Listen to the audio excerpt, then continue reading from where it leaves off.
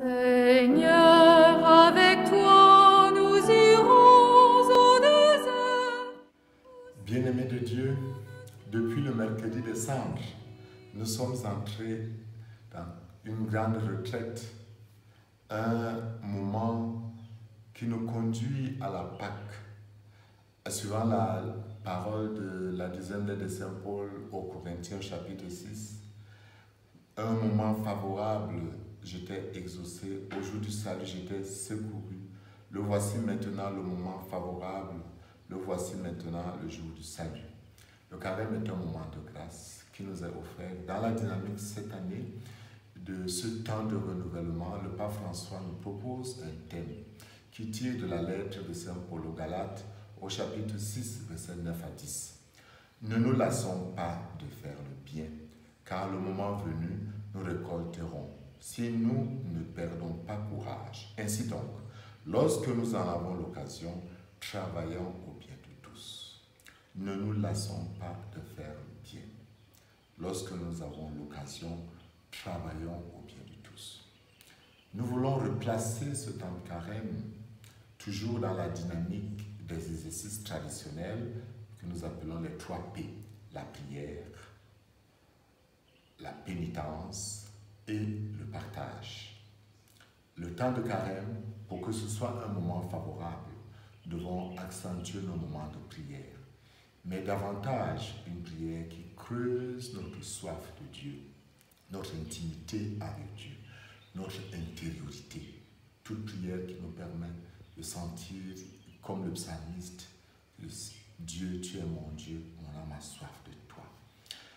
Dans la dynamique du deuxième P, est le, la pénitence, nous sommes appelés davantage à discipliner notre relation avec toutes les créatures.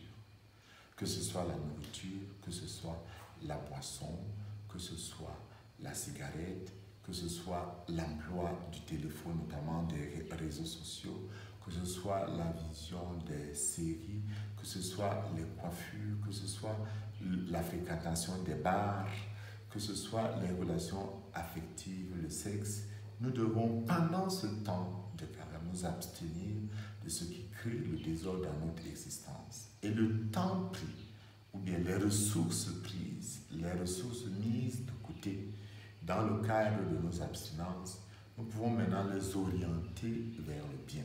En revenant sur ce que le Saint-Père nous, nous dit, nous touchons le troisième P. Ne nous lassons pas de faire le bien. Le meilleur partage que nous faisons, c'est de faire le bien à notre prochain. Mais nous pouvons faire un bien concret dans le cadre de ce que nous appelons l'effort du carême. Je m'abstiens d'une 33, ça fait 650. Je dépensais 2000 francs par mois pour le téléphone, je dépense 1500. Le reste, chaque dimanche, je dépose ça dans, dans le deuxième panier, qui est le panier de l'effort de carême, et qui sera donc dédié une partie à la paroisse, l'autre au diocèse et une autre partie au niveau national pour des œuvres de charité, parce qu'il est bon que la charité soit organisée. Frères et sœurs en Jésus, je voudrais terminer en vous redonnant cette parole du pape François. J'encourage tous les fidèles à manifester le renouvellement spirituel en participant davantage aux campagnes de carême promues par de nombreux organismes ecclésiaux visant à faire grandir la culture de la rencontre au sein de l'unique famille humaine. Prions les uns pour les autres afin que participant à la victoire du Christ, nous sachions ouvrir nos portes aux faibles et aux pauvres. Ainsi, nous pourrons vivre et témoigner en plénitude de la joie pascale. Bon carême et bonne marche vers la résurrection. Mourons en nous-mêmes pour que le Christ ressuscite en nous. Que Dieu vous bénisse, nom du Père et du Fils et du Saint-Esprit.